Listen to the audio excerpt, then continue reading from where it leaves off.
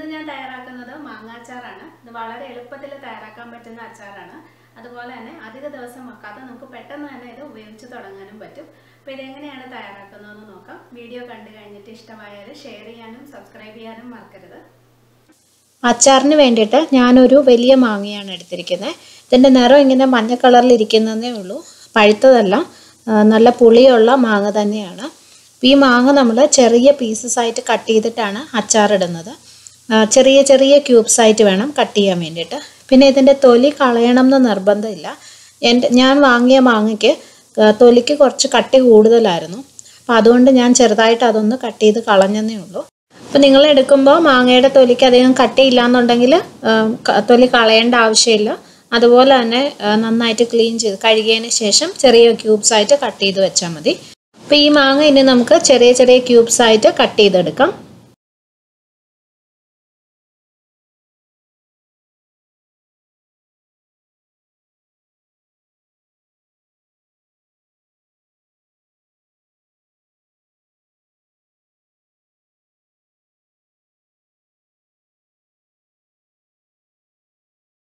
അപ്പോൾ ഈ മാങ്ങ ഞാൻ കട്ട് ചെയ്തെടുത്തു. ഇതുപോലെ ചെറിയ ക്യൂബ്സ് ആയിട്ടാണ് കട്ട് ചെയ്തിരിക്കുന്നത് ഇനി ഇതിനകത്തോട്ട് ആവശ്യത്തിന് ഉപ്പ് ചേർത്തിട്ട് നമ്മൾ കുറച്ച് സമയം വെക്കണം. അതായത് ഒരു എട്ട് മണിക്കൂർ ഉപ്പ് ചേർത്ത് വെക്കണം.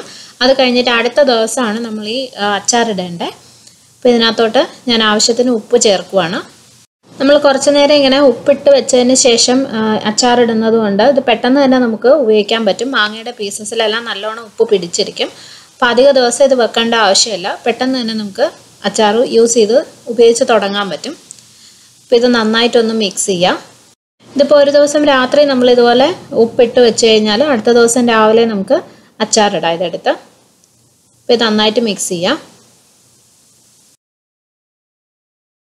ഈ മാങ്ങയിൽ ഞാൻ നന്നായിട്ട് ഉപ്പ് ചേർത്ത് വെച്ചിട്ടുണ്ട്. ഇത് നമുക്ക് അടച്ചു വെക്കാം. നാളെ രാവിലെ നമുക്ക് ഇതെടുത്ത് അച്ചാറിടാം ഞാൻ ഇന്നലെ രാത്രിയിൽ മാങ്ങയിൽ ഉപ്പിട്ട് വെച്ചിട്ടുണ്ടായിരുന്നു. ആ മാങ്ങയാണത്. ഇത് ഏകദേശം രണ്ട് കപ്പ് വരും. അരിഞ്ഞെടുക്കുമ്പോൾ രണ്ട് കപ്പ് വരും. ഇതിൽ നമ്മളിങ്ങനെ ഉപ്പ് ചേർത്ത് കുറച്ച് സമയം വെക്കുമ്പോൾ കുറച്ച് വെള്ളം താഴെ വന്നിട്ടുണ്ടാവും. മാങ്ങയിൽ നിന്ന് ഇറങ്ങിയ വെള്ളവും പിന്നെ നമ്മൾ ആ ഉപ്പിട്ടല്ലോ. അതുകൊണ്ടാണ് ഇങ്ങനെ കുറച്ച് വെള്ളം താഴെ നിൽക്കുന്നത് ഈ വെള്ളവും മാങ്ങയുടെ പീസസും രണ്ടായിട്ടാണ് ഞാൻ അച്ചാറിലോട്ട് ചേർക്കുന്നത്. കാരണം ഗ്രേവി നമ്മൾ തയ്യാറാക്കി കഴിഞ്ഞ് സ്റ്റൗ തീ ഓഫ് ചെയ്തതിന് ശേഷമാണ് മാങ്ങയുടെ പീസസ് ചേർക്കുന്നത്.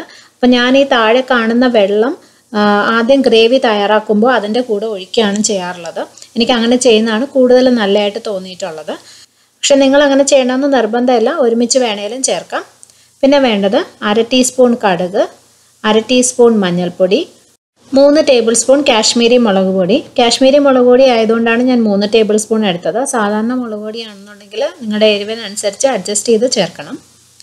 പിന്നെ ഒരു ടേബിൾ സ്പൂൺ ഇഞ്ചി ചെറുതായിട്ട് അരിഞ്ഞത്. ഒരു ടേബിൾ സ്പൂൺ വെളുത്തുള്ളി ചെറുതായിട്ട് അരിഞ്ഞത്.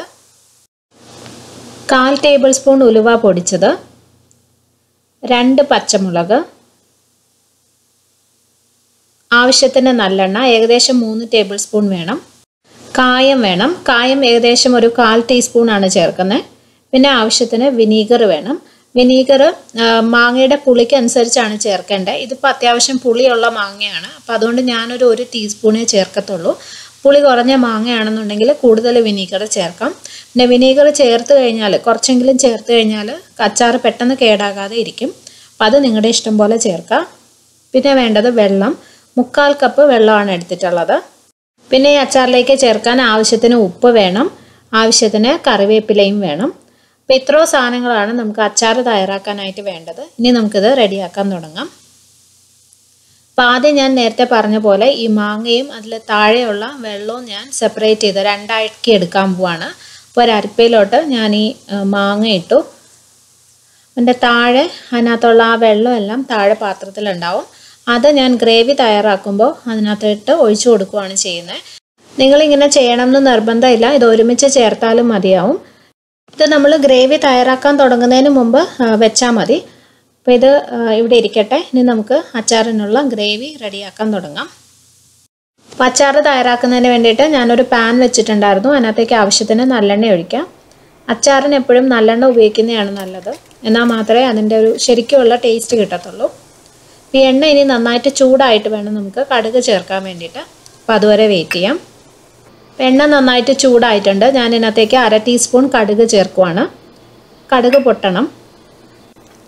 അപ്പോൾ കടുക് പൊട്ടാൻ തുടങ്ങിയിട്ടുണ്ട്. ഇനി ഇതിനകത്തേക്ക് നമുക്ക് ഇഞ്ചി വെളുത്തുള്ളി ചേർത്ത് കൊടുക്കാം. അതിന്റെ കൂടെ തന്നെ രണ്ട് പച്ചമുളകും ആവശ്യത്തിന് കറിവേപ്പിലയും ചേർക്കാം. ഇനി ഇതെല്ലാം നന്നായിട്ടൊന്ന് മൂത്ത് വരണം. ഇഞ്ചിയുടെയും വെളുത്തുള്ളിയുടെയും പച്ചമണം നന്നായിട്ട് മാറണം.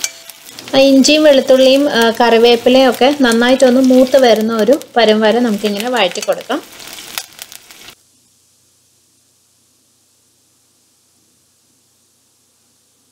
ഇപ്പം ഇഞ്ചിയുടെയും വെളുത്തുള്ളിയുടെയും പച്ചമണം നന്നായിട്ട് മാറിയിട്ടുണ്ട്. പക്ഷെ അതിന്റെ നിറമൊന്നും കളറൊന്നും മാറിയിട്ടില്ല. നല്ല മൂത്ത ഒരു മണം വരുന്നുണ്ട്. അപ്പോൾ ഇതിനകത്തോട്ട് ഇനി നമ്മൾ പൊടികളാണ് ചേർക്കുന്നത്. പൊടികൾ ചേർക്കുന്നതിന് മുമ്പ് തീ നന്നായിട്ട് കുറച്ച് വെക്കണം. അല്ലെങ്കിൽ അത് പെട്ടെന്ന് കരിഞ്ഞു പോവും. അപ്പോൾ ഇത് റെഡിയാണ് അപ്പോൾ ഞാനിപ്പോൾ തീ കുറച്ച് വെച്ചു. ഇനി ഇതിനകത്തോട്ട് പൊടികൾ ചേർക്കാം. അര ടീസ്പൂൺ മഞ്ഞൾപ്പൊടി ചേർക്കാം.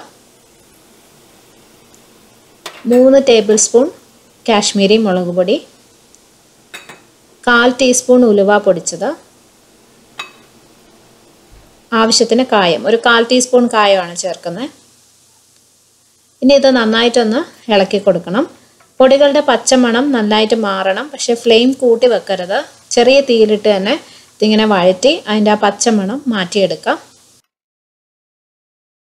പൊടികളുടെ പച്ചമണം നന്നായിട്ട് മാറിയിട്ടുണ്ട്. ഇനി ഇതിനകത്തേക്ക് നമുക്ക് ആവശ്യത്തിന് ഉപ്പ് ചേർത്ത് കൊടുക്കാം. ഉപ്പ് ചേർക്കുമ്പോൾ ശ്രദ്ധിക്കേണ്ടത് നമ്മൾ ആദ്യം മാങ്ങയിൽ നല്ലോണം ഉപ്പ് ചേർത്തിട്ടുണ്ട്. അപ്പോൾ മാങ്ങയിൽ ആവശ്യത്തിനുള്ള ഉപ്പ് പിടിച്ചിട്ടുണ്ടാവും. ഇത് ഗ്രേവിക്ക് ആവശ്യമുള്ള ഉപ്പ് മാത്രം ചേർത്താൽ മതി. അതുപോലെ മാങ്ങയിലുണ്ടായിരുന്ന വെള്ളം ഉണ്ടല്ലോ അതും നമ്മൾ ഈ ഗ്രേവിയിൽ ചേർക്കുന്നുണ്ട്. അപ്പം അതിനകത്തും ആവശ്യത്തിന് ഉപ്പുണ്ടാവും. പിന്നെ ഇതിനകത്തേക്ക് നമുക്ക് വെള്ളം ഒഴിക്കാം. മുക്കാൽ കപ്പ് വെള്ളം ഒഴിച്ചു കൊടുക്കാം. ഇതിനി നന്നായിട്ട് തിളച്ച് കുറുകി വരണം. ഇപ്പോൾ കുറച്ച് ലൂസായിട്ടാണല്ലോ ഇരിക്കുന്നത്. അപ്പോൾ അതൊരു മീഡിയം ഫ്ലെയിമിലിട്ടിട്ട് ഇത് നന്നായിട്ടൊന്ന് തിളച്ച് കുറച്ച് സമയം എടുക്കും ഒന്ന് കുറുകി വരാൻ വേണ്ടിയിട്ട്. അതിന് ശേഷമാണ് നമ്മൾ മാങ്ങയുടെ പീസസ് ചേർക്കുന്നത്. അപ്പോൾ ഇതൊന്ന് തിളച്ച് കഴിഞ്ഞിട്ട് നമ്മൾ മാങ്ങയിൽ ഉണ്ടായിരുന്ന വെള്ളം ചേർക്കാം. ഞാനൊരു അല്പം ഉപ്പും കൂടി ചേർത്തു ഇതിനകത്തേക്ക്. അപ്പോൾ ഇതൊരു മീഡിയം ഫ്ലെയിമിൽ വെച്ചിട്ട് ഇത് നമുക്ക് തിളയ്ക്കുന്നത് വരെ വെയിറ്റ് ചെയ്യാം.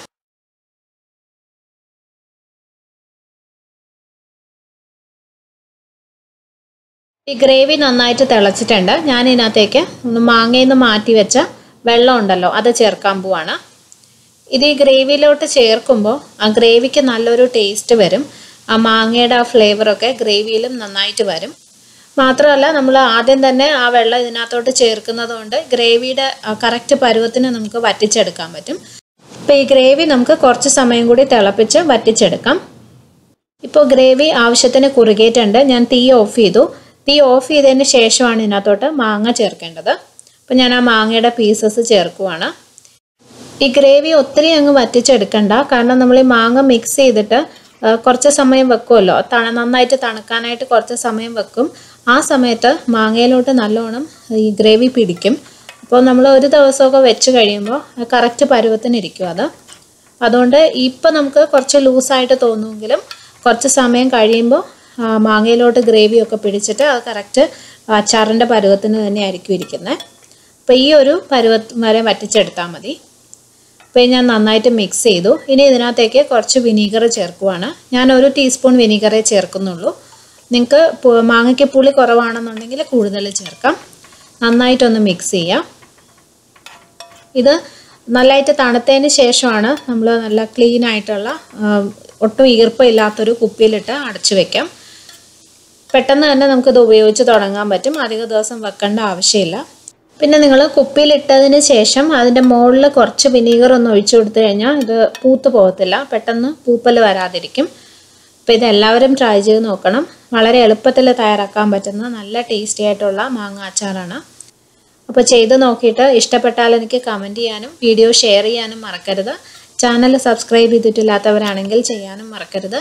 ഇനി നമുക്ക് വേറൊരു നല്ല റെസിപ്പി ആയിട്ട് കാണാം. Thank for watching Anu's kitchen